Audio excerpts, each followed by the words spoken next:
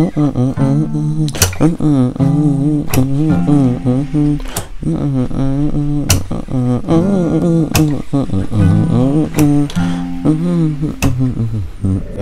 welcome back to my channel. If you're new here, don't forget to subscribe, like the video if you like it, and share it to friends who might need it. So for this video, your guitar is going to be in standard tuning. Action is going to be in open strings, so you don't need a capo. Also, you're just going to be going through different chords throughout the entire song. So the first thing is going to be a D minor 7, so that's going to be 5th string, 5th fret, 4th string, 7th fret, 3rd string, 5th fret, 2nd string, 6th fret, strum down once. Then go to an E minor 7, pretty much exact same thing you're playing, just move it up two frets. And then go to a F major 7, so that's going to be 5th string, 8th fret, 4th string, 10th fret, 3rd string, 9th fret, 2nd string, 10th fret, strum down. So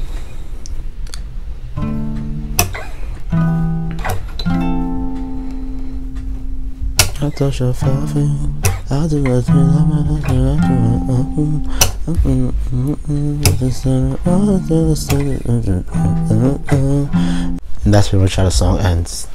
So that's how the whole song sounds like all together.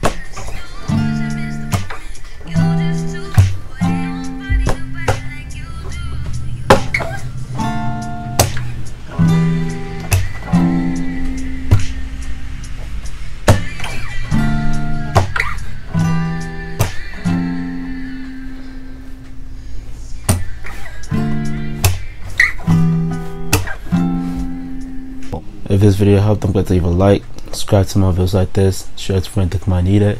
Leave a comment down below on what you'd like to see next, and I'll see you next time.